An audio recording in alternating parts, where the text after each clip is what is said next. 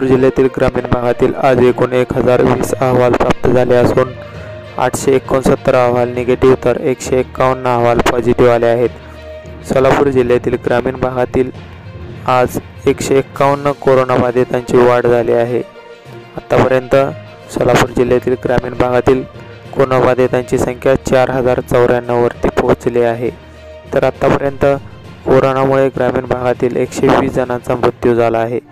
तर दोन हजार तीनशे एकोणपन्नास जणांना रुग्णालयातून बरे करून घरी सोडण्यात आले असून एक हजार सहाशे पंचवीस रुग्ण सध्या रुग्णालयात उपचार घेत आहेत.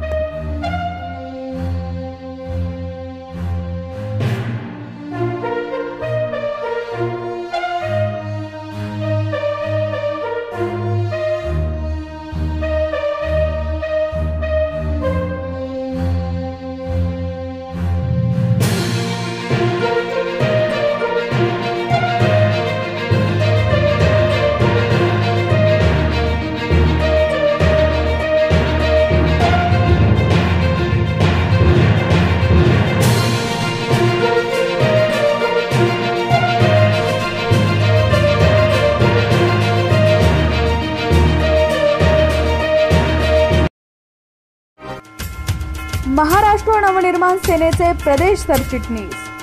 शॅडो सहकार मंत्री आणि प्रदेश अध्यक्ष सहकार सेना मनसे.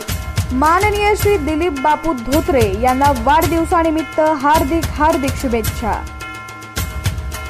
शुभेच्छुक महाराष्ट्र नवनिर्माण सेना पंढरपूर शहर व तालुका.